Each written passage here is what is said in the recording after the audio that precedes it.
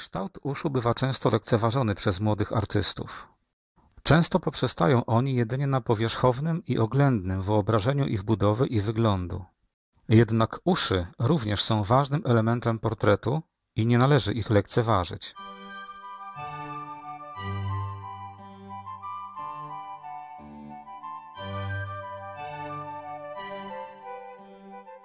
Artysta nie może sobie pozwolić na powierzchowne patrzenie. Nawet w drobnej różnicy może kryć się istotna cecha, która decyduje o podobieństwie i której przeoczyć nie wolno. Uszy różnią się u poszczególnych ludzi, a zatem mogą one stanowić o ważnych cechach wyglądu.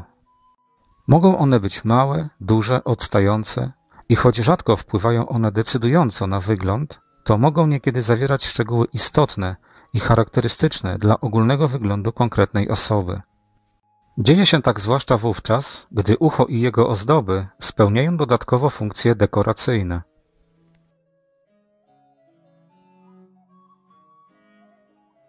Poza tym kształt uszu.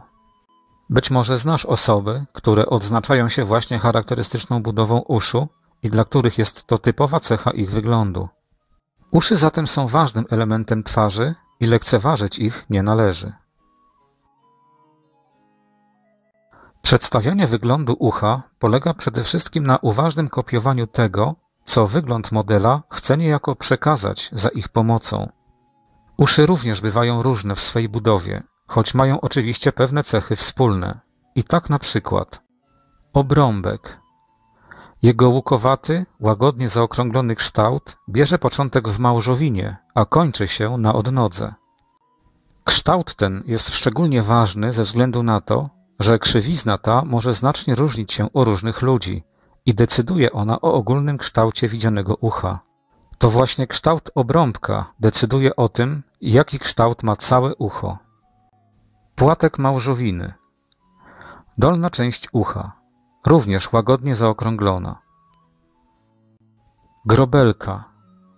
Silna wypukłość znajdująca się wewnątrz obrąbka i zakończona odnogą rozgałęziającą się w dwóch kierunkach w górnej części ucha.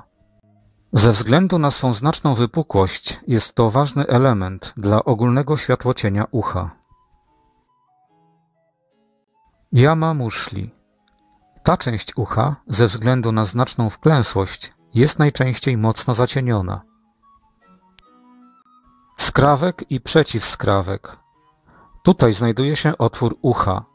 Jest to miejsce najciemniejsze. Rzecz jasna, wszystkie te elementy mogą znacznie różnić się budową u poszczególnych osób.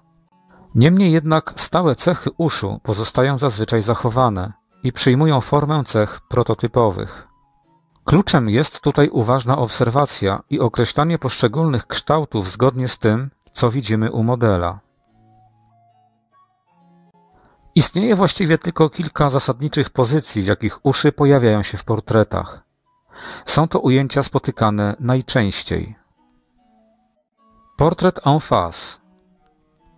Jeśli uszy nie są jakoś szczególnie odstające, to w takim rzucie widziane są one razem jako zwyczajna gra świateł i cieni.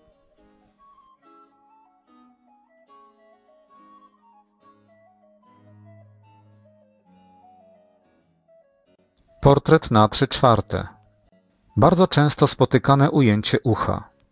Widać tutaj tylko jedno ucho, z uwzględnieniem wszystkich skrótów perspektywicznych, jakim podlega ono jako forma trójwymiarowa. W takim rzucie należy uważnie obserwować, w jaki sposób ucho i jego kształt wpływa na ogólny wygląd portretowanej przez nas osoby. Portret z profilu. W tym rzucie ucho eksponuje już swój kształt w całej okazałości. Widzimy dokładnie wszystkie krzywizny i załamania charakterystyczne dla wyglądu ucha i mające zasadniczy wpływ na światłocień. Jest to taki rzut głowy, w którym ucho odgrywa znaczącą rolę. Portret Perdi. Ucho widziane z tyłu. Przedstawione jako wypukłość o łagodnym, łukowatym kształcie.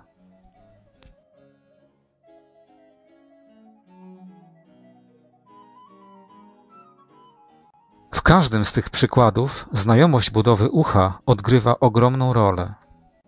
Przede wszystkim dlatego, że uszy posiadają charakterystyczny kształt o dużej złożoności. Jest to ważny element twarzy i nigdy go nie lekceważ. Przejdziemy teraz do narysowania typowego ucha, biorąc pod uwagę wszystkie jego najważniejsze cechy. Rozpoczynamy od podstawowych linii kanonu, a zatem linia brwi, linia nosa. Jak pamiętamy z kanonu, linia brwi i linia nosa wyznaczają jednocześnie wysokość uszu. Chyba, że w konkretnej, rysowanej przez ciebie twarzy będzie inaczej. Dlatego zawsze obserwuj, jak proporcje kanonu odnoszą się do rysów twarzy konkretnej osoby. Wykreślamy szerokość ucha. Jedną z linii szerokości ucha wykreśla pionowa linia drugiego modułu dla kanonu głowy widzianej z profilu. Określamy kształt obrąbka. Szkicujemy wstępną konstrukcję ucha, posługując się delikatnymi liniami. Określamy kształt małżowiny. Dolna część ucha.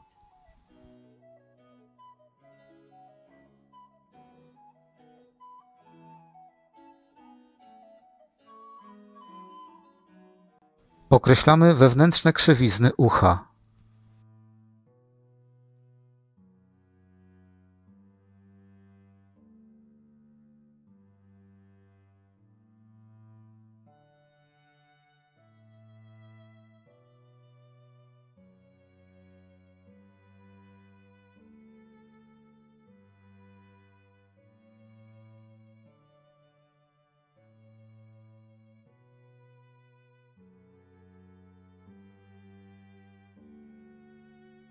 Zaznaczamy najciemniejsze miejsca ucha.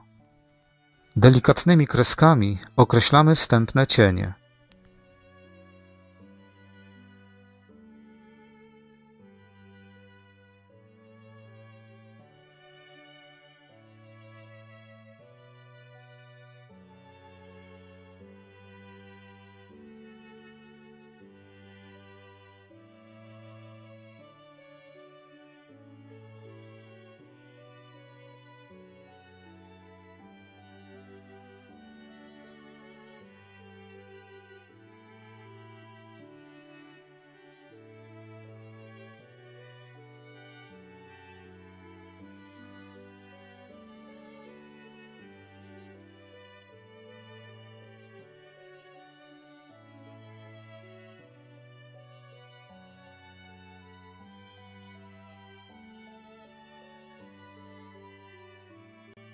Wprowadzamy pierwszy światłocień. Rozpoczynając od miejsc zacienionych, wprowadzamy mocniejsze cienie i delikatnie modelujemy, kierując się stopniowo ku miejscom rozjaśnionym.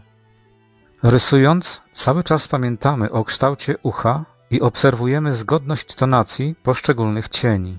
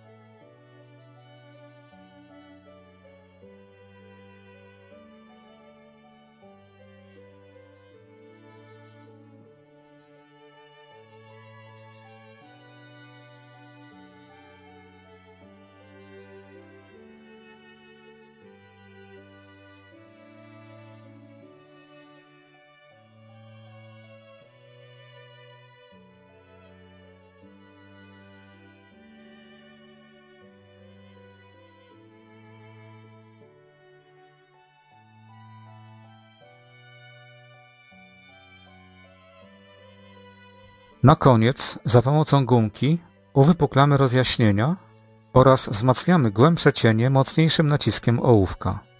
Zwracamy szczególną uwagę na wklęsłość pod krawędzią obrąbka, mocny cień w okolicach odnogi,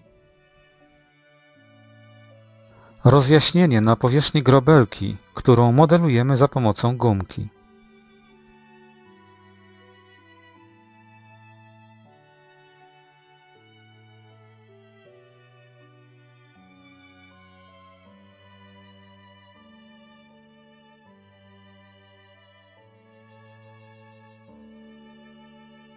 W następnym filmie omówię, jak rysować włosy. A w kolejnych odcinkach przejdziemy już do rysowania twarzy. Zapraszam.